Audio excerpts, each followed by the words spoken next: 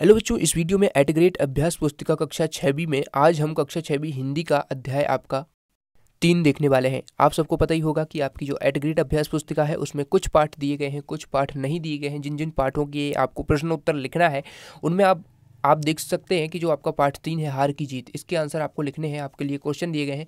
तो इसी प्रकार से सभी आपको एडग्रेड अभ्यास पुस्तिकाएँ दी गई हैं, जिनकी आपको, जिनका लिखना है और उसको आपके स्कूल में जमा करना है। तो यहाँ पर देख सकते हैं, प्रश्न आपका एक है, इसको हम किस प्रकार से लिखेंगे? जो आपका खड़क सिंह वाला पार्ट है, जो हार की जीत तो इसको कैसे इसको कैसे सोल्व करना है? खड़क सिंह इस इलाके का कुख्यात डाकू था, बाकी में रेखांकित शब्द का विलोम लिखिए। तो यहाँ पर कुख्यात का, कुख्यात यहाँ पर रेखांकित है तो इसका प्रख्यात अब इसका विलोम लिख सकते हैं। इसी प्रकार से सभी चैप्टर्स के आपको देखने हैं वीडियो तो यहाँ पर लिंक डिस्क्रिप्शन में मिल जाएगा, उसके थ्रू आप देख सकते हैं। ये चैनल प्लेलिस्ट पर जाइए, वहाँ से आप वीडियो देख सकते हैं।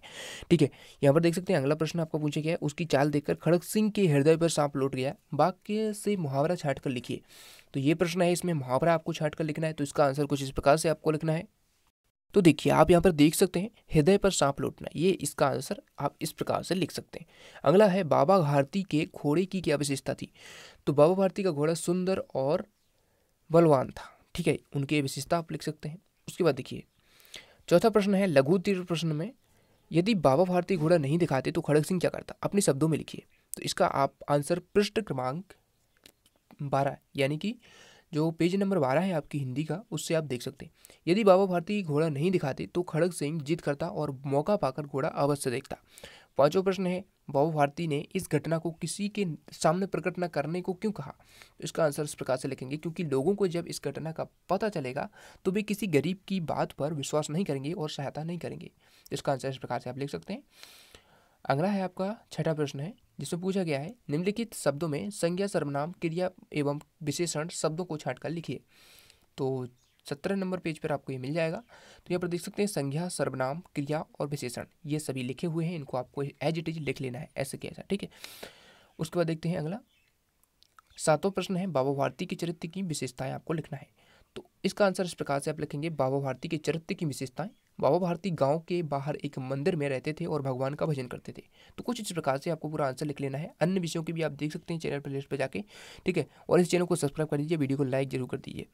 अगला प्रश्न है आपका मूल्यांकन थ्री ठीक है? इसमें देख सकते हैं मूल्यांकन तीन के अंतर्गत लघुत्री अति लघुत्री प्रश्न है आपका आठवां, जिसका अंग भंग हो गया हो, वाक्यांश के लिए एक शब्द आपको लिखना है, वाक्य में प्रयोग करना है तो अपंग इसका आप कर सकते हैं। ठीक है वाक्य में प्रयोग भी आप लिख सकते हैं कोई भी अपने अनुसार ठीक है। उसके बाद देखिए नवा प्रश्न है बाबा भारती को रात में नींद क्यों नहीं आती थी? पाठ के आधार पर बताइए। तो ये आपको बारह नंबर पेज पर मिल जाएगा क्योंकि बाबा भारती को डर लगता था कि खड़ग सिंह उनके घोड़े को ना चुरा ले ठीक है। तो इसको इस प्रकार से आप लिख सकते हैं।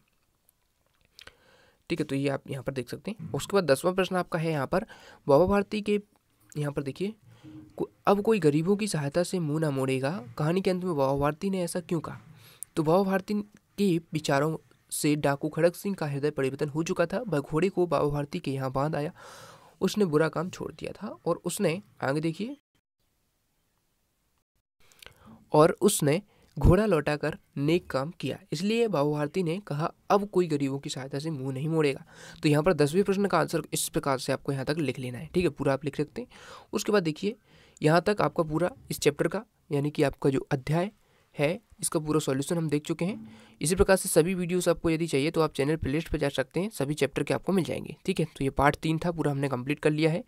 और इस चैनल को सब्सक्राइब ज़रूर कर लीजिए लाल बटन दिख रहा है सब्सक्राइब को उसको दबा देना और वीडियो को लाइक ज़रूर करना। थैंक्स फॉर वॉचिंग मिलते हैं अगले वीडियो में।